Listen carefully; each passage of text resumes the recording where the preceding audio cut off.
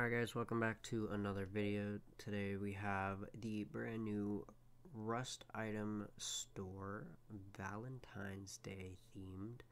Uh, up first we have the Evil Heart door for 249 uh, Honestly, in my opinion, I do really, really like this door. Glows in the dark, obviously. It's kind of like a look at it, but glows in the dark, looks kind of well. Really do like it. Uh, up next we have the Heart Hunter bow for $1.49. Uh, just kind of your everyday typical bow. We have the little heart grooves right here in the bow. Uh, just kind of simplistic. Uh, up next we have the heart strings crossbow for $1.99 as well. This kind of has like the pink digital camo with the hearts right here. Looks alright. I do like it. I like the blue string um, like the pink digi camo. Uh, up next, we have the Immortal Angel bag for $1.99 as well. Uh, this is kind of cool. It's a like a full metal angel holding a rocket. I, I, this is actually a really unique skin, and I do really like it. I like the concept of it. Uh, it also glows in the dark as well. You can see here.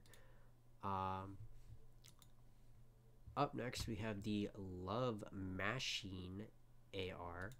Uh, kind of self-explanatory. All leather, strapped up. Um, just kind of look at it.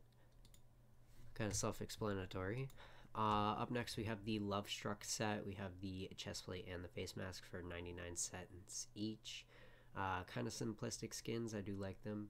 Um, I don't know if they would go well with the Wings of Love set, which are also a 99 cents a piece. Uh, up next, we have the Neon Hearts box for $1.49. This glows in the dark. It's kind of a preview of it. I do actually kind of like this. The simplicity of it, but it also gives really good lighting.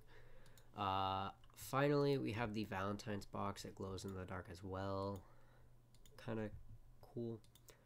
Um, yeah that's about gonna do it for the, today's video. Uh, if you guys have any skins that you are going to pick up from this week's item shop, let me know down below. Uh, if you guys enjoyed today's video, consider leaving a like and subscribing. Peace.